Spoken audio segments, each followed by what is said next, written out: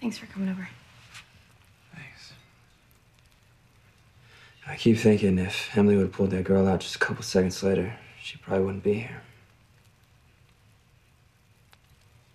I knew your life was complicated, but I didn't know it was anything like this.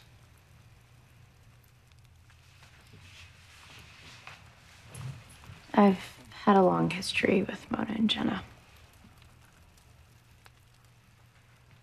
If I explained everything, we'd be here till I graduated. I'm starting to see why you're so on edge all the time. I feel safe when I'm with you, though.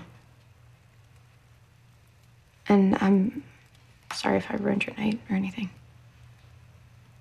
Kim's just a friend, Aria.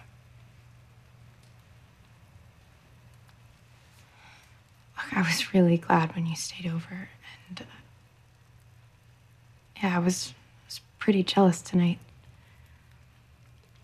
I, I just I don't see how I can involve anyone else in my life right now. It's like I'm, I'm either spinning in circles or I'm in a constant state of free fall. It's, Maybe you could let someone else help you navigate for a while. See what happens.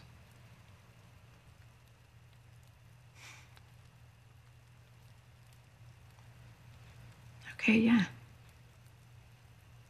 Maybe I could.